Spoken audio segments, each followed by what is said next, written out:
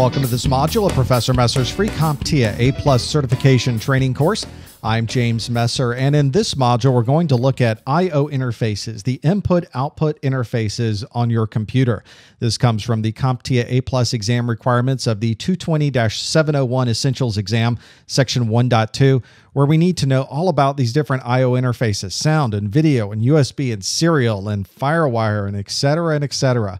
There are so many different ports in the back of your computer for input and output, and for your A Plus exam, you need to be able to look at any one of those and know exactly what it is. So you're going to learn a lot about all of these interfaces in this module.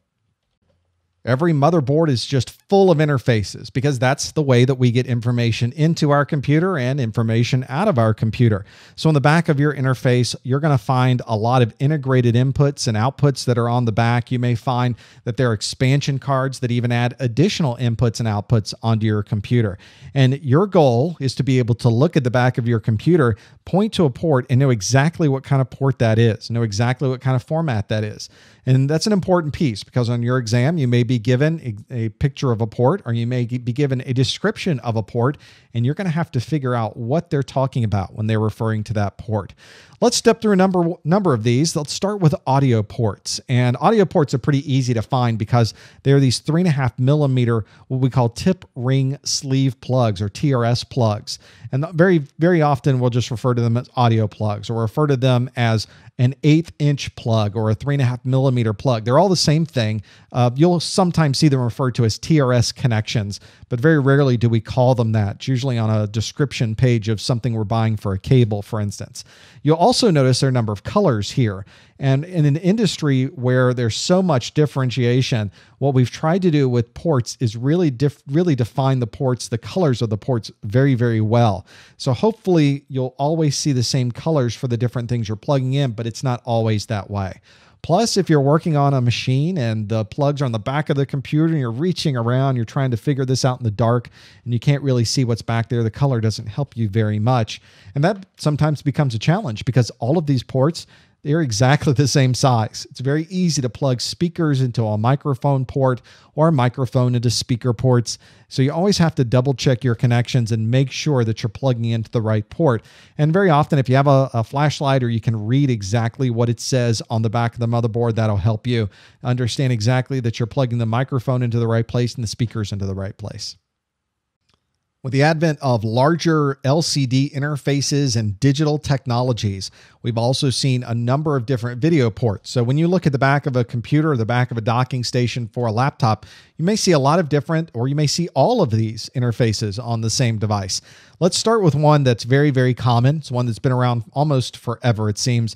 It's called VGA, Video Graphics Array. This is a port that's defined as a DE15. It's a 15 pin port, 15 pins on this, and the size of that is an E. It's a DE size, and that's what that's what we get on a VGA type connection. So anytime you see a 15 pin connector, or you see that it is a small type interface like this with that DE size, you can almost always assume that's going to be a VGA video connection. There are a number of digital type connections, both analog and digital, on your computer. One that's very, very common is DVI. DVI supports a lot of different video formats. It supports analog output, it supports digital output, it supports multiple video cards, multiple video devices on that same uh, digital video interface card. Uh, so you'll see this very large interface with all of these different pins on it, and there will often be a number of different type of connectors on the other side of it, depending on whether it's digital or whether it's uh, analog or whether it's supporting multiple uh, different. Uh, uh, screens. It just depends on what the type of DVI is you have. So make sure you refer to the manufacturer's uh, guidelines as to the type of DVI connection you have.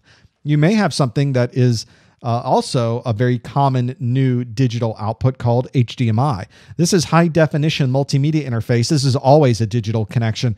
And HDMI, we're seeing more and more, especially on laptops. So we can plug in and get a high resolution output from that, all digital, but it takes a very, very small form factor to be able to do that.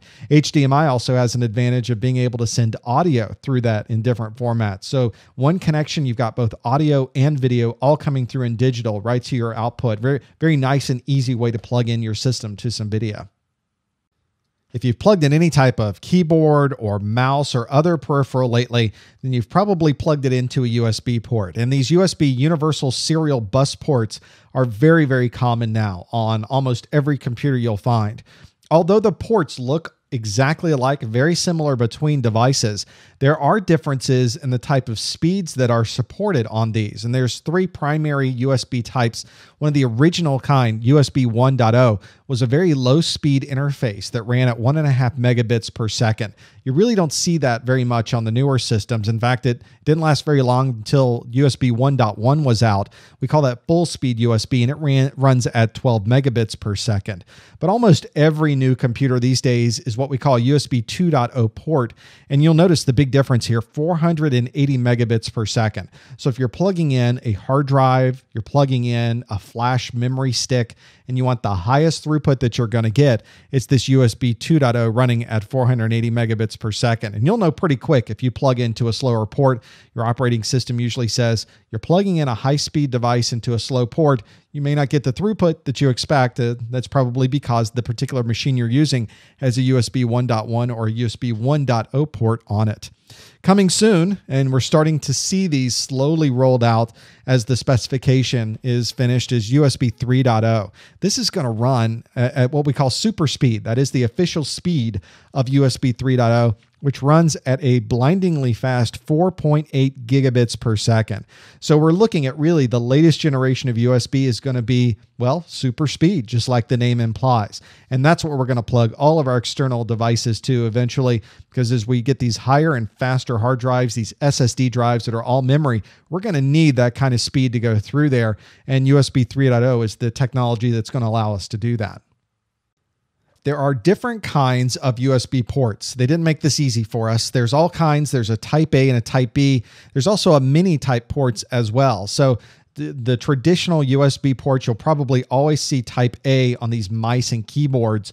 But if you run into other devices that need better, stronger connectors, they'll often use these Type B plugs because they're squarer, they'll fit easier. A lot of audio devices or higher end USB devices will have these. But if it's something like a phone or it's something that has very, very small connections to it, you may have something like these Mini B or even a smaller kind, which is a micro type plug connection uh, that goes into your USB. So if you see any of these in a system, it's still USB. It's still the same type of interface.